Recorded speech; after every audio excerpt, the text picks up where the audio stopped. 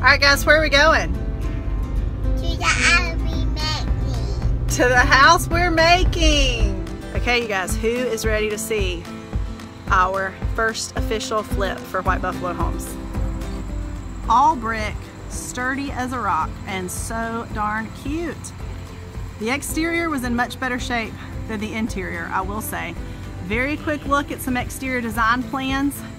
We will be painting all of the brick. Hang on, buddy. Oh, hey. Hey. That's for me. Sorry guys, that's worth the interruption right there. Thank you. Okay, preciousness. So like I was saying, we're gonna paint the brick. We're gonna do window boxes. Okay, we'll have all new railings here. We're gonna do a, sorry, my finger's messing up focus, but we're gonna do a shed roof to make this a covered porch.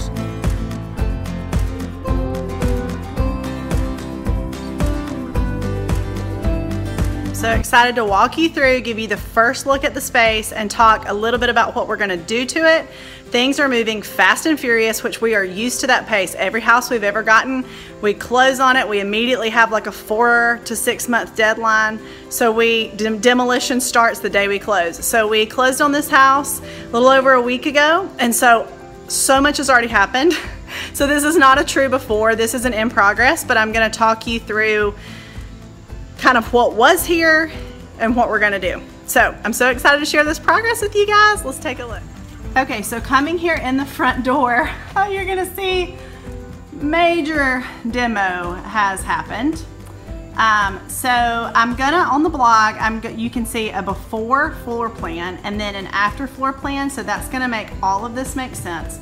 But before you walked into, you had this archway here and you walked into a small little living room.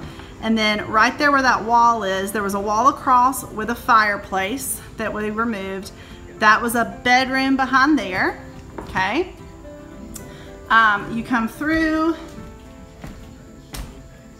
here. This was a small little room, dining room. There was a wall here, and then that was a kitchen that connected back to that other bedroom. Then on here on the other side of the house, it's a pretty typical like old cottage floor plan. Okay, have a hallway. This was a guest bath. Every house we've ever bought, old houses, the floor is always rotted through in the bathroom. And so we, compl we got into everything anyway, but that is required to make sure of water damage and rebuild everything. And so then you had two bedrooms on each side here of this bathroom. Okay, so that's kind of a look at where this started, floor plan wise. Like I said, before and after floor plan on the blog will help you get a better idea of that, but I did want to touch on that. Now I'm going to walk you through and kind of talk through what we're going to be doing for the new floor plan. Okay guys, so now we're going to look at what we're going to do. I'm here in the front door, and so this is going to become foyer. You may see there, stairs. So yes, we are going up and we are using all of this amazing square footage. So there, the attic um, floor to peak is 10 feet. And so we have 15 by 42 of usable space up there that already has windows. And so it's about 630 square feet. And so we're gonna put two beds, a bath, and a playroom up there. So the stairs are gonna come down here in the foyer.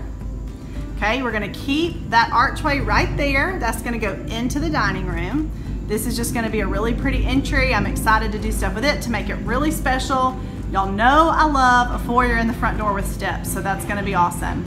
And then through here, you're gonna have an opening here, walk like a walkway that's about five feet going into the living room. And so we made the living room huge by getting rid of this wall and fireplace. The fireplace was had to come down structurally. It was in really bad shape. The brick was like crumbling in. Um, so I was sad to lose the fireplace and the character of that, but it was not real character. I'll show you a picture of it. But that opened up this living room to be a huge space over here. The kitchen is gonna stay where it was before, back in that back area, which is a great size space, and we're gonna have a giant 10 foot cased opening here that will connect the living room and the kitchen. Okay, so finishing more with the common space. When you walk here, this will be dining. Here, in this space, it's been opened into the kitchen. So you'll have kitchen all around there with a big island, all the stuff I love that makes like the focal points of a kitchen. Exterior door there, and this is a downtown Greenville house, and so the backyard, thankfully, is such a good size. It's a really big lot for downtown. All right, so there is a look at the before of this the living space and I'm so excited to get my design hands now on this space and really give it the things I love cohesive color palette cohesive finishes and kind of a whole house theme and focal points. Y'all know I love my focal points and so I'm excited to start creating. Okay, so this opening here that before remember was hallway with two guest bath beds and the bath in between now is becoming the master suite. So there's still gonna be a little hallway here that's kind of your entrance into the suite. There'll be a doorway straight ahead of you where laundry will be right here. There'll be a doorway to the right, right here inside the hallway with a powder bath. And then there will be a door to the left over here that will go into the master bedroom. So the master bedroom is a really good size for the size of this house, especially with the way that we're able to extend it. It's got good windows. So we're gonna be extending that wall some. So the bedroom is gonna be about 15 feet wide, which is bigger than any master we've ever had in our houses. Um, over here, so this was the closet door. So this doorway is actually going to stay. It may shift some, but there will be a door here.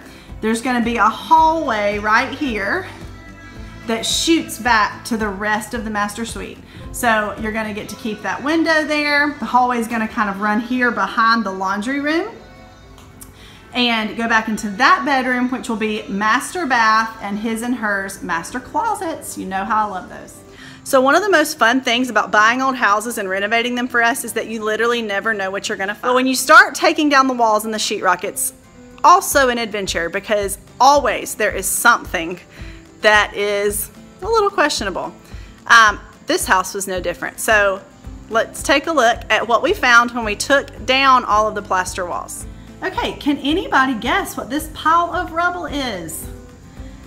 Yes, they are cinder blocks.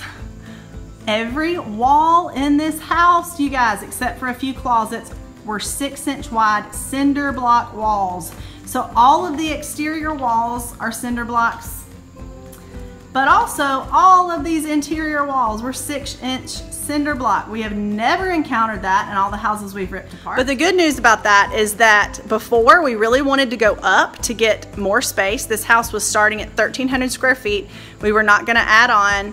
We weren't gonna use the upstairs, but once we, even though it's literally already there and perfect, but once we realized that the house is literally cinder block walls. It is as sturdy as it could be. Going up was a viable option. So it turned out to be a blessing in disguise, even though we had to get pretty creative and it made some of this a little bit complicated. We're actually really grateful now because the house now is gonna be 2,000 square feet. All the living spaces are much bigger. The master suite's bigger. The kids' bedrooms are bigger. There's the addition of a playroom and the layout just makes a lot more sense now. So anyway, renovation realities.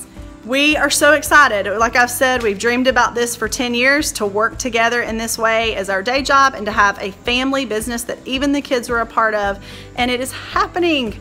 And I am still blown away by what God has done with this adventure. I know a lot of y'all have been following our renovation to debt journey for a long time. This was always one of the things, the biggest, one of the biggest things we prayed would come out of that journey, and it has. White Buffalo Homes is here and we're so excited. As Chris keeps saying every day when he goes to work, he's like, let the buffalo roam.